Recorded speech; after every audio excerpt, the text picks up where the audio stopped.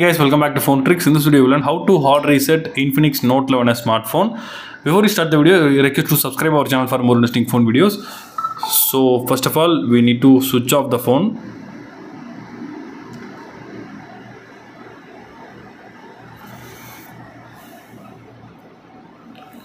So after switch off, you need to press volume up key and power key at the same time. You need to press volume up key and power key.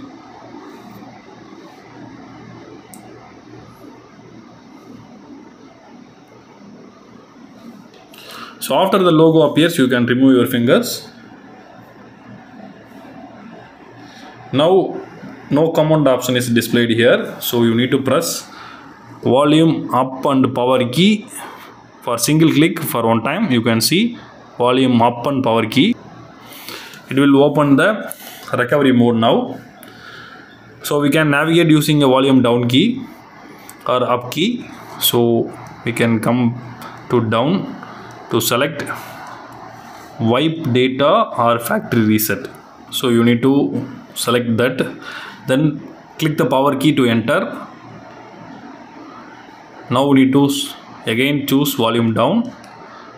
So this one select factory data reset then click power key.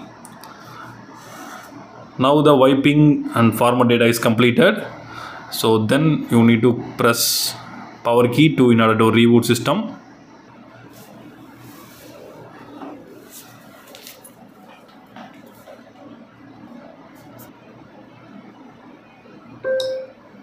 now the reset is completed successfully. So we can see the phone is completely resetted and look like a new phone. So that's all guys. I hope this video is very useful to you.